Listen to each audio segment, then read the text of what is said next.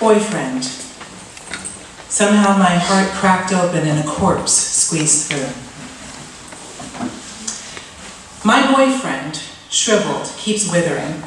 No matter how much I bring him, his skin crumples like gift tissue. It ought to make me sick, the sight and smell of him. Trash, garbage. He ain't worth your time, girl. I've heard it all at bars and cafes where women friends gather, but no one's ever said it to me until Mel. I had no women friends before her. I had no girlfriends when I was a school kid either, except for Amber, and I fed her to my boyfriend years ago. Kathleen, my boyfriend rasps, save me. We are lying on a mattress I found by a dumpster and dragged 10 blocks by my own two hands to the abandoned apartment building that is our current squat. He likes tracing the mattress's stains with the tip of his tongue, the sharpest part of him, and telling me where they came from. That yellow one, shaped like Idaho, is piss from a nine-year-old boy scared awake by clown dreams. This uh, constellation of pink dots, the remnants of a girl's first period. Her uterus was tipped. The pain was like fire in her cells. Baby, he says, rolling onto his belly and smiling shyly. Will you save me? Save me means I'm hungry. It means go out and get him a meal. Sometimes I forget why I ever decided to be with him. He was never a looker, and he always reeked of used coins and nosebleeds. Somehow my heart cracked open and a corpse squeezed through. It must have been the movies and the TV shows. Now I'm stuck bringing him bottles of blood, cradling his head in my lap, listening to him suck at the remnants of murdered life. I don't look into mirrors anymore. I trim my hair by guesstimation. I turn away from windows at night so I don't have to see what I've become. I'm the one giving strangers ketamine and rohypnol, the one clapping chloroform over their screaming mouths. I'm the one stringing them up from rafters with the rope and pulley system I thought up. I'm the one dragging a knife across their throats and catching the splashing gushes of blood in buckets. I'm the one saying, you can cry, but no one will hear you. Mine's the last face they see. He's what we would call a scrub, Mel says. He's who we would say, no, I don't want no scrub to. We are at a cafe outside under a big umbrella. A thick band of sun cuts Mel in half. Mel is sitting across from me. My hands and feet fidget because her eyes don't look at you. They look through you into some bigger inner you. When she talks, it's like her words are scalpels flung by her eyes. Mel sings, a scrub is a guy that thinks he's fly and is also known as a buster. Always talking about what he wants and just sits on his broke ass. A scrub is a guy that can't get no love from me. Hanging at the passenger side of his best friend's ride, trying to holler at me. She drinks some lemon water and, unsmiling, clears her throat. When she speaks again, her voice is hoarse and crumbly, and I think with shame, she is trying so hard. Mel says, he's eaten so many people over so many centuries, and still he's never made anything of himself. Give this man immortality, and what does he do? Hide in the shadows at bars, eyeing girls hundreds of years too young for him. But every month, you open your legs wide for him. Let him lick out all that still makes you feel like a living girl. Every night you bite your tongue and dribble your, dribble your life out of his gaping, gaping mouth. And I want to say, and every hour of my life, I am aware how stupid I am. I want to say, I know they are the ugliest things, the most secret and the most old. There's nothing beautiful about vampires, inside or out, nothing to love at all. But how you wish there were. How you wait every second for some hint of goodness, if you know one. But that's too many words, so I don't say them. I want to have kids, and that's a problem. That's a real issue, as my boyfriend would say. How is death supposed to sire? Still, if I stop the precautions, what would happen. My mind is scientific in some ways. You need to kick him to the curb, Mel says. Tell him straight up, get out of here. Find yourself a man who'll do you good. Better yet, stand up strong by yourself. Show the world you don't need anyone. Mel is in law school after a decade of working as a financial consultant specializing in derivatives. She made a killing doing that, and now she wants to give back. She's going to defend the rights of underprivileged women, women of color, women without voices. Her parents were itinerant farm workers from Mexico. Her father died in a hit and run, the perpetrators of which were never prosecuted. Her mother raised Mel and her brother alone. When Mel describes all this, it says that she's listing grocery items. She is not impressed with her own hardship, her own rags to riches. I think it bores her. How I met Mel is what my grandmother would call a miracle from heaven. I was outside at McDonald's trying to talk a homeless man into coming home with me when she clicked over. Do your parents know where you are? She said. I wanted to say, I'm almost 35. The homeless man shuffled away.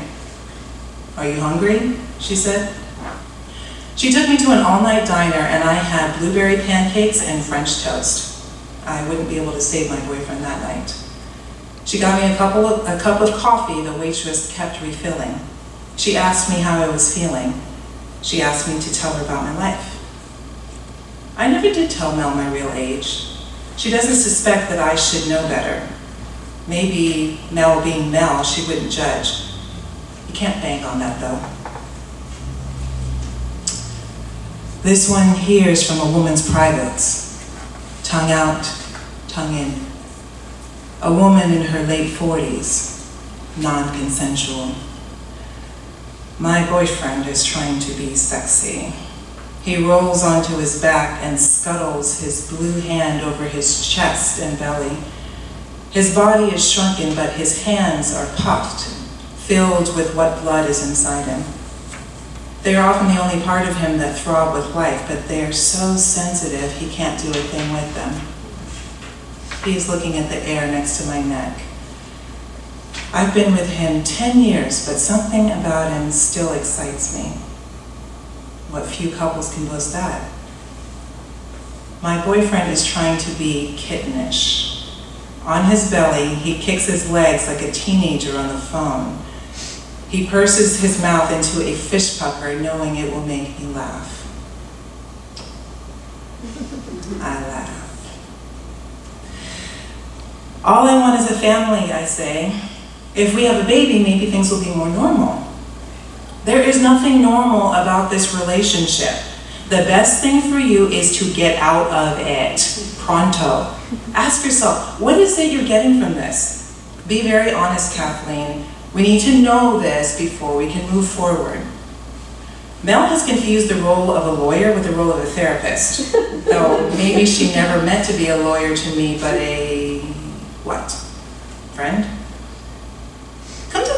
Mel doesn't have any friends either.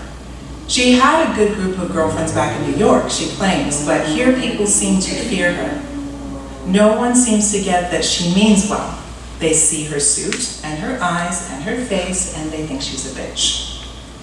I am maybe her only friend. What I get from this? I suppose I feel a sense of purpose every time I fill a bottle with blood.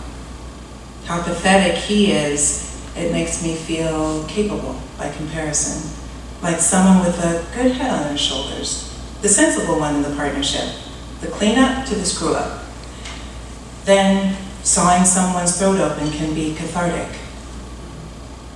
There are some things you can tell a friend, some things you can't. He makes me feel needed, I say. He makes me feel important. Now imagine if you were to go back to school, build a career, let the whole world know what you have to offer, Kathleen.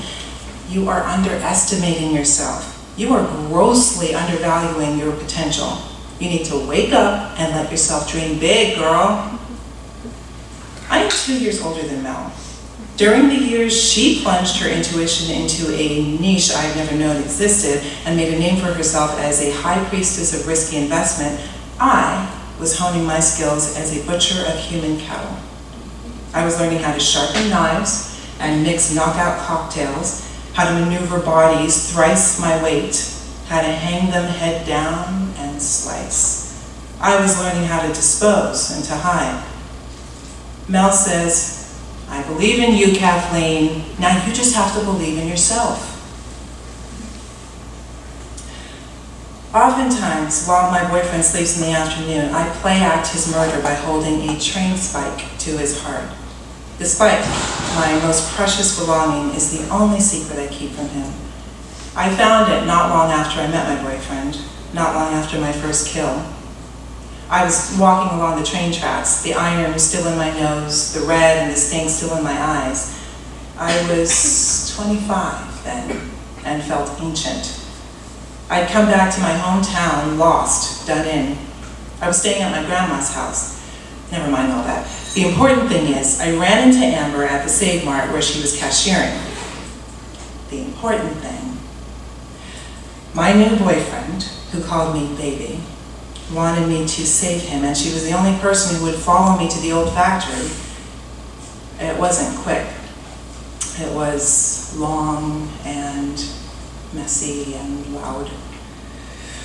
Amber was 180 pounds at least. She'd had a hard life and knew how to throw punches. When I finished, dawn was already drenching the land blue, and the groan of crop dusters rent the quiet. I walked along the train tracks knowing that when I got to my boyfriend's apartment, he would be sleeping. His gray lids drooped, sleeping like a baby. The train spike wasn't even hidden amongst the weeds. I thought, this is a sign. I put it in my purse. I dragged my shoulder down. I thought about how interesting it was that when you kill someone, it is difficult to pinpoint the exact moment of the soul's departure. By the time I unlocked my boyfriend's door, I had forgotten about the spike. I fed him and watched those stone lids pinken. I thought, I could get good at this. My boyfriend. These are words rolled like diamonds in a teen girl's mouth, but for a woman nearing her 35th birthday, what do they mean? Is it not my right at this stage to utter my husband? I want a family. And that's an issue. I want my boyfriend to be my husband. Or maybe I want a different man entirely. Maybe I don't want anything. Only an excuse to use the train spike, to make that, at least, mean something. A whole month and a half, and nothing for him to lick from me. Mel and I are at a bistro. A Pepsi is 3.50 a glass, we are snacking on onion rings before our entrees. You haven't gotten your period, Mel says. Mel never asks questions. Every word drops like hail. She steeples her fingers. You've stopped using contraceptives. You want to have a baby with him. Looks like I'm going to, doesn't it? I hope for your sake it's just late. Mel looks away with the look of a soldier too long in trenches. You need to see what a bad idea this is, starting a family with this man. I hesitate to even call him a man. He's a scrub, I say. Worse, and he has permeated you as termites do the foundations of a house. I understand how difficult it is for you to disentangle yourself from him, but you gotta. You gotta think of your own life, your own needs. He might turn around as a father, he might take on responsibilities. People change. Beneath this, so obvious, I know Mel smells it. Maybe I will turn around. Maybe I'll be good as a mother. My body will change at the very least. It will change into that of a real woman. No one will mistake me for a child any longer. They will know me as a bringer of life. They will know me as having contributed to this world. My boyfriend is half risen on the mattress. His eyes are bright red, like a lemur's in a night zoo. I won't let you have it. You'll have to get rid of it. One of those scenes. Who would have thought it? It took us 10 years to get here. I thought you'd be happy. You should be. This child would be good for us. I clasped my hands to my belly. It already feels stretched and roiling. You don't understand, Kathleen. It'll kill you. My kind and yours, we can't mate. We can't create anything viable. He puts his portly hands on his head. No, that's too kind a way to put it. What we can create will destroy everything around it, even its own mother. Then why? I back away from him. Why did you even let it get this far? Why didn't you tell me in the beginning? Why did you leave me on this long? Kathleen, what we had, what we have, is good. It works. We're happy. I kill for you. The best years of my life I've given to you, all for nothing. Don't say what we have is nothing. I breathe. I think about a waterfall and peaceful woods, a little cabin, a white spotted fawn nipping new leaves. The fawn is feeling sleepy and wants to nap, but it is also hungry. That's all right because there's all the time in the world for it to do everything it wants, to have everything it desires. I'll find the clinic. Will you come with me? My boyfriend raises his swollen hands. His ruby eyes bulge. A breeze from the open window wafts his smell to me. I wish I could, I really do, but how can I when I'm like this? Mel's BMW has beige leather seats that warm themselves. It glides so smoothly over the road. A bottle of orange juice rattles in one cup holder. A bag of dried cranberries is wedged into the other because Mel thinks I need iron after the procedure. She thinks cranberries are rich in iron because they're red. This was all for the best, she says. You'll realize later. Didn't you have class today? Never mind that. Mel eases to a stop as the light blinks red. You need someone with you. Anyway, you'll see this as the wake-up call it is. This is the best day of your life, Kathleen. She strikes the steering wheel with the, hand, the heels of her hands as she says this. This is the day you'll begin to see that you have to live life differently. Yeah! Her apartment complex has walls around it and a gate. She has to buzz in. The anesthesia is still in my body, or I'm tired, so I clutch her arm as we walk into the marble floored lobby and the elevator whose mirror walls are perfectly silver, smudgeless. Her apartment has wall-to-wall -wall windows that look out over the sparkling city. Somewhere in that swath of darkness and lights, my boyfriend is lying on our stained mattress, pondering donning his trench coat and spraying on a few layers of Burberry men and heading out to a bar. He only does this when I fail, when I can't save him. The sofa pulls into a bed. Mel fits a snow white sheet over it, shakes out a comforter. Flakes of down hover in the air and descend. I don't know how to thank you. I finish my orange juice. Don't mention it. We gotta stick together, you know. It occurs to me that Mel thinks we are the same. She thinks that because we came from similar beginnings, we are headed towards similar conclusions. She thinks I will become another her. It dizzies me how wrong she is. Doesn't matter where we come from. The real judge of what a person is, where she is now. After I recover, I will have to leave this apartment. I will have to walk the shit-caked streets in old shoes I will try to leave my boyfriend, but he will find me and he will charm me with his tongue, wise in its own ways from centuries. I will kill for him again because of what I am, because of what I want. Of course, I don't tell Mel this. We eat artisan pizza topped with goat cheese and roasted bell peppers. We drink ginger ale from glass bottles. I can be there when you tell him it's over, Mel says. You need backup. You'll be able to if someone's there with you. But what will I do after? What will I do with my life? I'm not a good person, Mel. I'm not like you. If only Mel would hate me, I think, I'd be able to change.